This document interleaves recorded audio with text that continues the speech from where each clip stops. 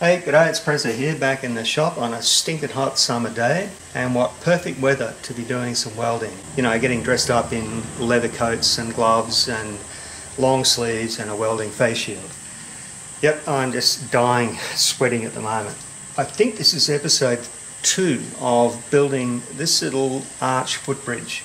This project got started because a friend of mine gave me two pieces of rolled steel tube which were left over from another job, and I figured it would make the perfect foundation for a small garden footbridge. And this is my sort of uh, homage, if you like, to Victorian engineering, the sort of thing that we would have seen toward the end of the 1800s. And uh, I've tried to replicate the sort of structural elements that you see on a, a hot riveted steel structure. And these little webs in the centre here are meant to replicate that style of engineering. Know, I don't have hot rivets, so it's not going to be identical, but uh, it's going to have that look about it. Let's take a look at where I'm at at the moment and where we're going. Well, I just removed all of the temporary bracing and clamps, and it's just sitting there at the moment uh, with these two outer sawhorses taking the weight and uh, I sort of half expected it to spring all over the place when I removed all of those clamps, but it's kept its shape pretty well. And uh, what I'll do next, I've got to get these um, gussets put in the center of the diagonal braces, and uh, when that's done, I can turn the whole thing over and finish off the welding. This is just a mock-up of the, the gusset that I'll be using for the center section of the bridge and this is just made from some plywood and I'll be using this as a template for the plasma cutter eventually. And I can't use it directly because I've got to offset um, a distance for the width of the plasma cutting torch. So uh, when I get round to that I'll have to change the shape of this. This is just a, a direct mock-up of what the steel part's going to look like. So I'll show you how I did the one for the other bay. So this plywood's oversized and I'm just going to slip that in there just get it roughly in the right place and then trace off the edge of that brace. I'll do that top and bottom. So sort of get underneath, do that there.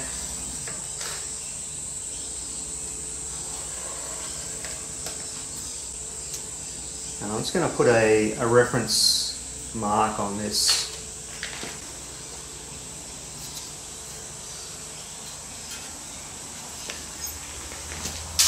because this one is not going to be symmetrical. I can't turn around, it's not going to work. So that's going to allow me to put that back in the right place later. So I've got my marks there, and I've got marks on the other side, so I've just got to transfer the marks on the back to the front so I can work out the rest of the geometry. Right, so I'm going to mark out this bit of plywood here, and this is my welding bench, but check this out. I got this in the mail this morning and it's called an LED high bay light and this one is 300 watts. And uh, man what a difference it makes. I can actually see what I'm doing now. I'll turn this on but it's probably going to kill the camera. Here we go.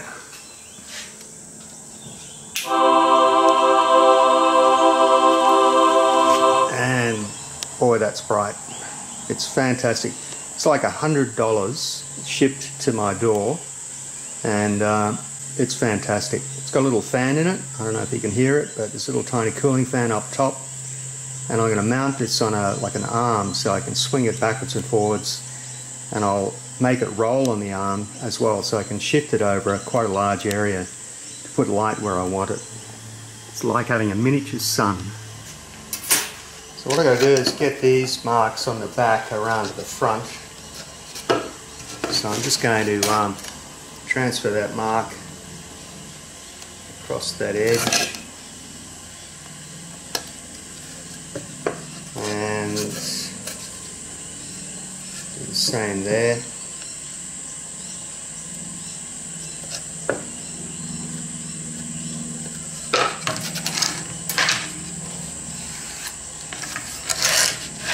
And my steel is 25 millimeters wide and so is my steel rule so I can just use that to get my offset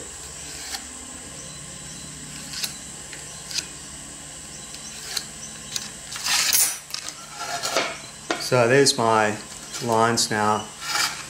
And what I need to do is find the center.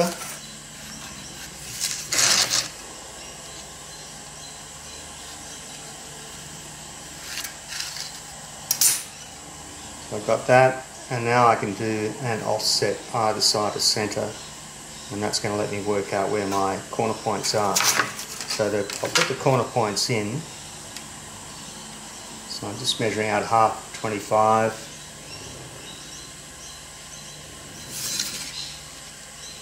That light's a bit too bright I think. It's just a little bit glary.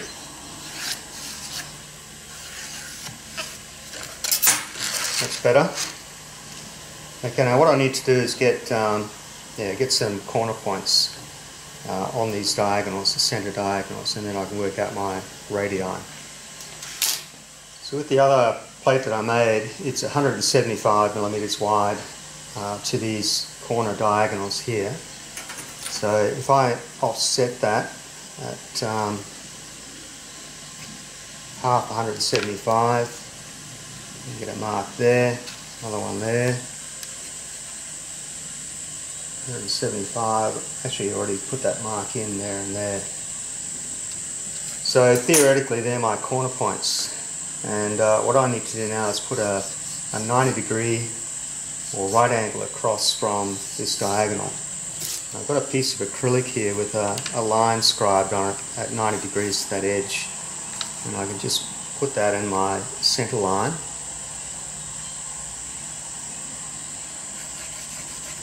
Mark off those corners. Now this template is going to look weird. It's not symmetrical because of the geometry of that outer panel. So a little bit harder to do.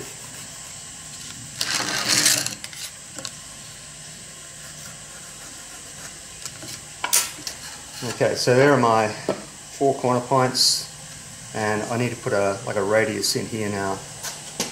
So I'm just going to do my highly technical template.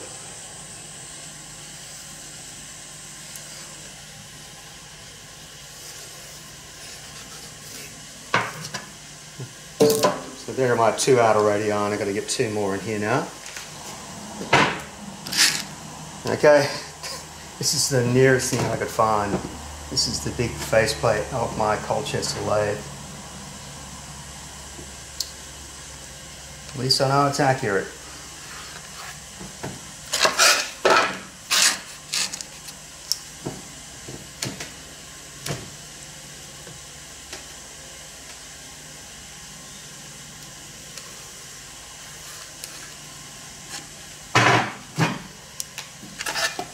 There, oh, I know it looks crooked, and it is, it's got to be crooked. So I cut this out on the bandsaw and we'll see how that one fits.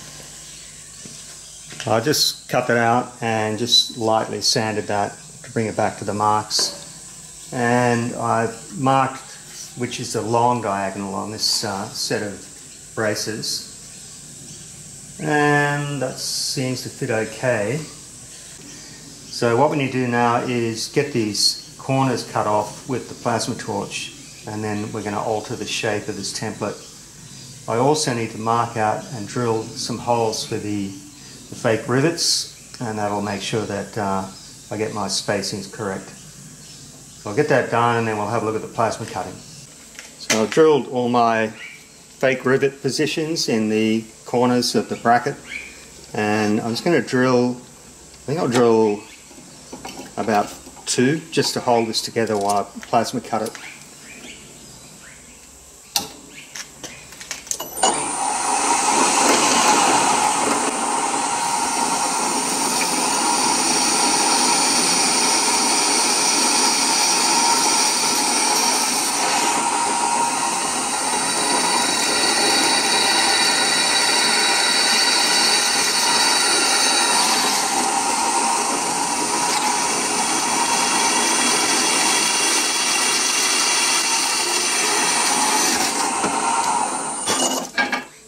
Okay, so now we can work out where these corners need to go and get them cut first and then we'll do the radii. What I'll do now is just mark out these corners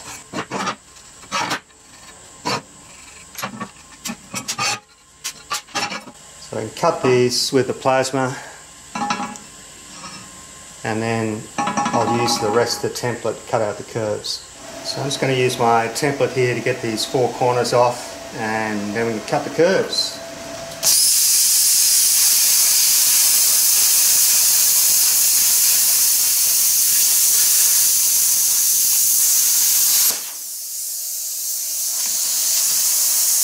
Now,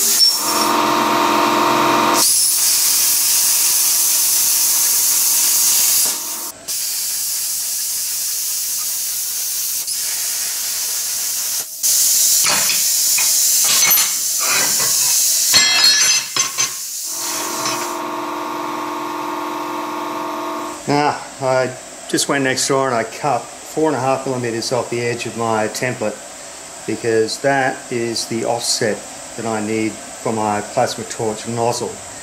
So I'm going to do the same trick that I did before when I was cutting out the, the ends of those ears. So the, the copper nozzle here is going to run against this edge and provided I keep that in contact all the way around there, that should give me the correct profile. And I can get two from one piece of steel and I've got about four of these pieces of steel maybe five so I should have enough and I've marked these out but I won't cut these yet. Anyway let's see if we can get this one done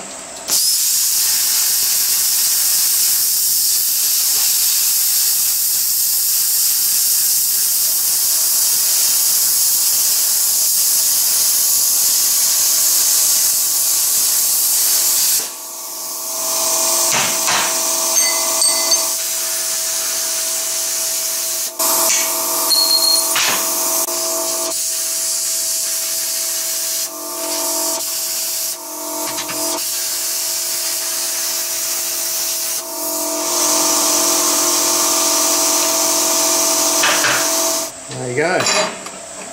There's something oddly satisfying about plasma cutting. It's so quick. And the finish, you know, on the edge is very good as well. So there's almost zero cleanup you need to do. But there you go. So there it is in place. Uh, I still need to drill the rest of my holes and transfer those through to the, the braces themselves. And I'll give the edge a bit of a grind up. But yeah, I'm happy with that. That's good.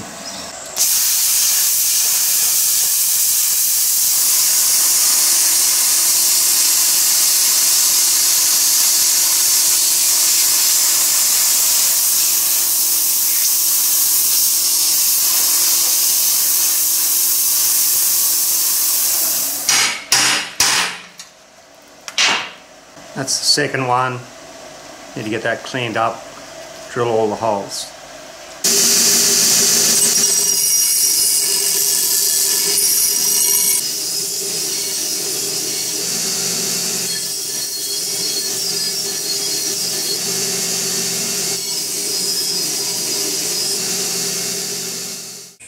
Oh, this is turning out to be a lot more time consuming than I thought. I've drilled all eight holes in this centre gusset and I have to spot through uh, the holes in the gusset onto the diagonal brace and then finish drilling these on the drill press. It's just too flexible to be able to get any pressure on the drill bit. So this one's got four bolts through now and I've got to turn it over and do the other holes on the other side. And here's one ready to go. So I just uh, had this one already pre-drilled with all eight holes. I've got it clamped and lined up. So I'll spot these through.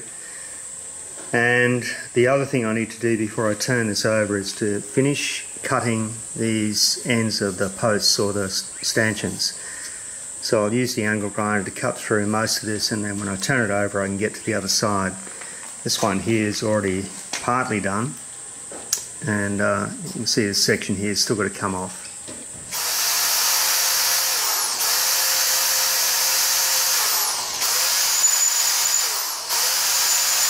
Put these marks on here just to keep track of where everything goes. Almost none of these parts are going to be interchangeable.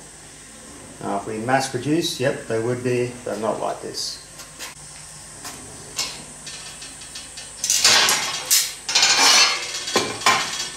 So there are my spots and I'll go and drill this on the drill press, put it back, and then we can bolt it up, get it turned over.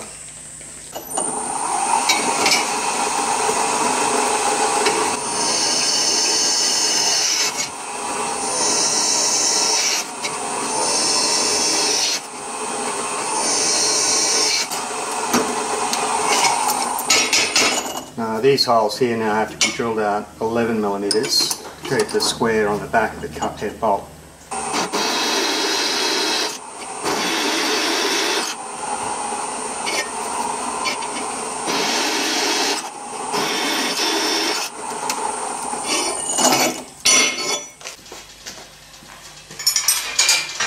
There you go.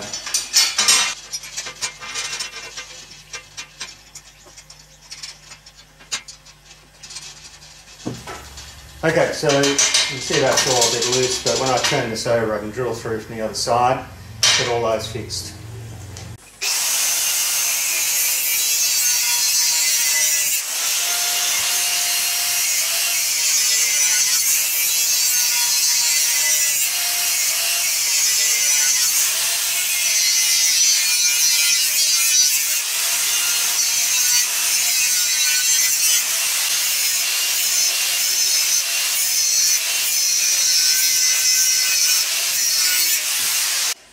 Well, I just turned this over and it's a lot lighter than I thought actually, but um, what I'm going to do now is drill all these plates through from the back onto these diagonal braces, get them drilled out and get everything bolted together and then I can go ahead and finish the, the welding on this side.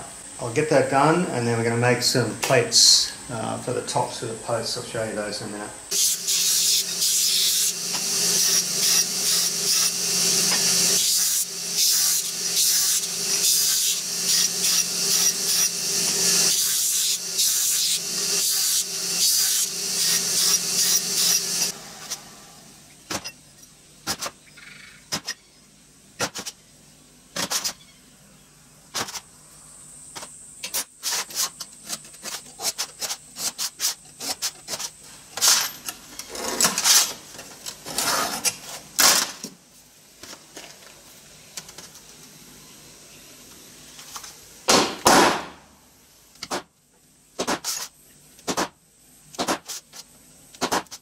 When you're doing this, and I don't want to be sounding like if you're watching this you don't know what you're doing, but uh, when I was teaching this to students I always said tilt the punch to one side and you look down you can see the point.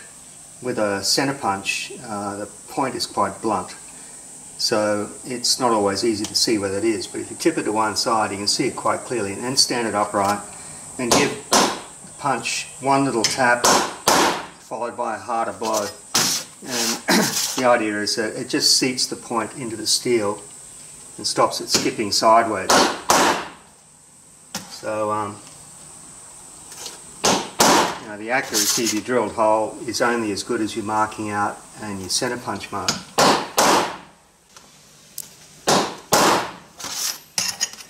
So that's, uh, what do you call that? That's a double tap.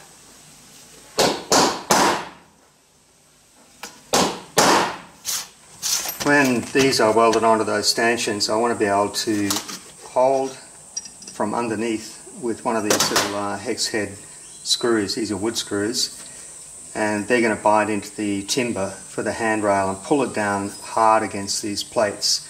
So these are good because they've got plenty of holding power, you get plenty of torque because you've got a hex head and uh, they're self-drilling so they'll create their own hole although I don't want to split this handrail so I may pilot drill for these screws later. So 5.5 is a clearance for that screw so I'll get all these plates drilled and get them tacked on.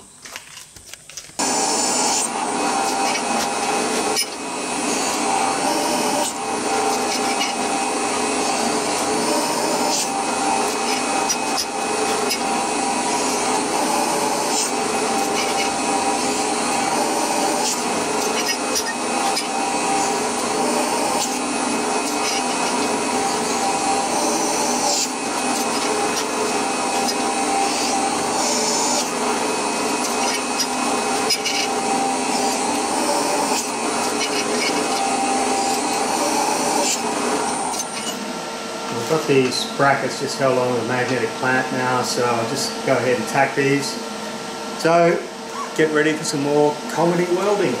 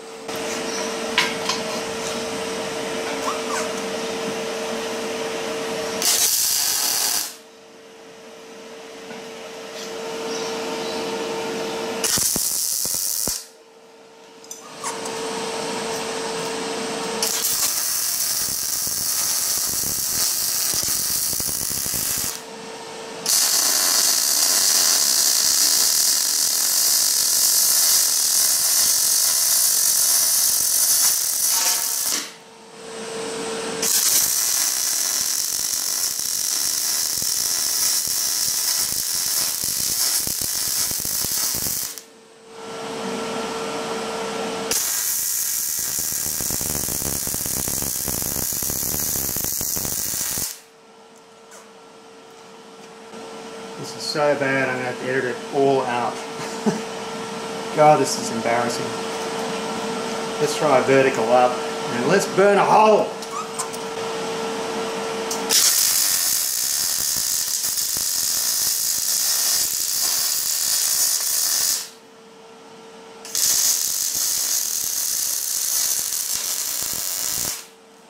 Well, at least didn't burn a hole that time.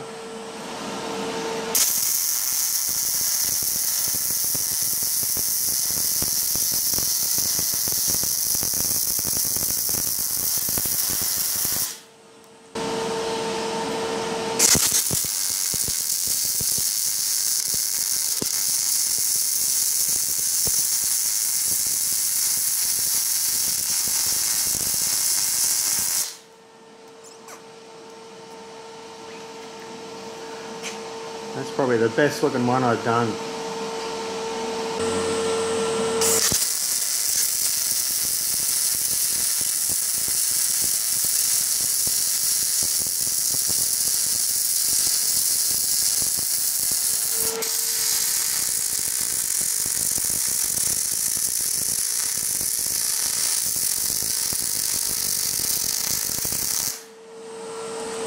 For better or worse, they're all done nothing a grinder can't fix I guess. So I'll tidy this up now and then we'll do a bit of a summary. And then we're going to call it quits with this video. Well it's stinking hot at the moment. I'm just sweating to death so I'm going to sort of call it quits here. Uh, so I've got everything welded together on this frame and when I say welded I mean fused together in a sort of arbitrary fashion I'm not going to show you any close-ups of any welds because quite honestly they're really embarrassing. But it's holding together and that's the, the main thing. And uh, I think coat, uh, coat of paint's going to hide a lot of the, uh, the really rubbish welds. Um, here's a bit of a preview of what's happening with the handrails. So this is a piece of um, spotted gum which is a really really hard Australian hardwood and uh, it's flexing around there quite well. I didn't think it would actually. Uh, so I'm going to build the handrail out of two thicknesses of some sort of good quality hardwood and it'll be held together with epoxy resin boat building glue screwed up underneath with four hex head screws on each one of those brackets and when the epoxy is set it should sort of hold it in that shape. It will need to have a pretty good quality coating on it as well to uh, withstand the UV light, which is what breaks down most of the uh, coatings that we use on the outside. So um, I'm going to finish this video up here now because I've got a feeling it's sort of getting on a bit long. I can't tell for sure because my computer went away for service and I normally edit this stuff as I go so I get a rough idea of how long the video is going to be but I can't do that so I'm just sort of guessing that we've finished the end of this phase. In the next video we're going to have the second frame done. Now what I'll do is I'll clamp the second frame as loose pieces to this one and get it tacked together and then at least the two frames are going to be the same even if they're wrong if you know what I mean. And uh, when that's done we'll uh, put the cross beams on to join the two halves together to make a single bridge and then we'll look at the decking and we're going to look at the handrail. So that's in the video coming up. So um, Oh, look, it's been fun to this stage. The, the, weather's not the best for doing this sort of thing. And when I started this video, I did tell you that uh, we were in a, uh, an extremely dry period here where I live. Since then, North Queensland, and particularly Townsville, has had nearly two metres of rain in about two weeks. Right? That's two metres, not two inches, two metres. And Tasmania's had devastating bushfires and here we've had this very long, hot, dry spell, but it, we did get some rain the last couple of days, but not enough to fill up the dam. So, um, I'm going to finish up here, and uh, I hope you enjoyed it so far. Catch you on the next video, and thanks for watching.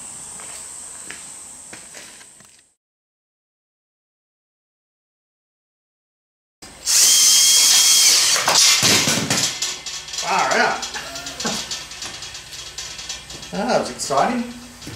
Oh, my wrist. Nah, not gonna get that.